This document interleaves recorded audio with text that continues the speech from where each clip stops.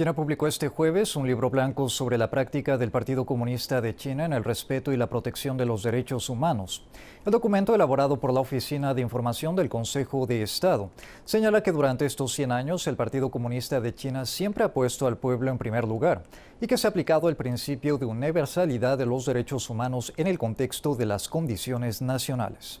Asimismo, considera los derechos a la subsistencia y el desarrollo como los derechos humanos primarios y básicos, y establece que vivir una vida feliz es el derecho humano supremo.